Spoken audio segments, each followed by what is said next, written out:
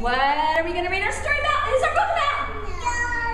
Jonah. Jonah. That's right. It's about Jonah. You ready to read a story about Jonah? Come here. Let's move you over here. Center front there, buddy. All right, Ellie, you need to move over a little bit this way. You're going to move her things, Meredith. Meredith, point. Would you like to go on the clock, Meredith, and get paid? Uh-huh. There we go. Ready? God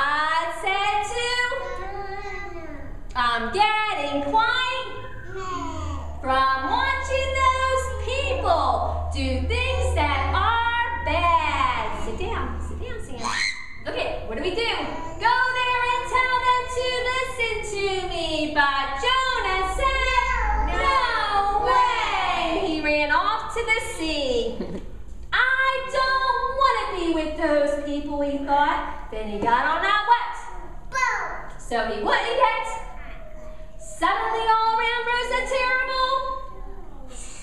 Good job, Ed. But Jonah went below, so he stayed safe and good job, Micah.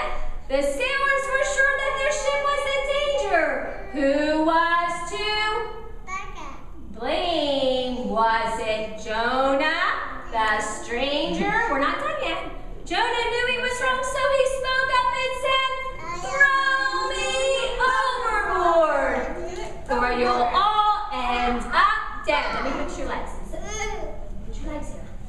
Here we go. Ready? Wait, wait. But God did not leave Jonah alone in the sea. What did he do?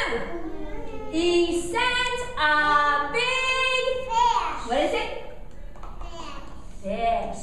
Just as quick as could be, the fish swallowed Jonah, who stayed there three days, where he thought it all through and said, God,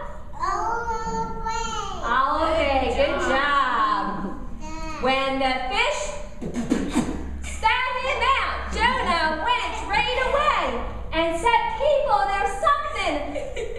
I really must say, they listened to him, all the girls and the boys, when they did what was right,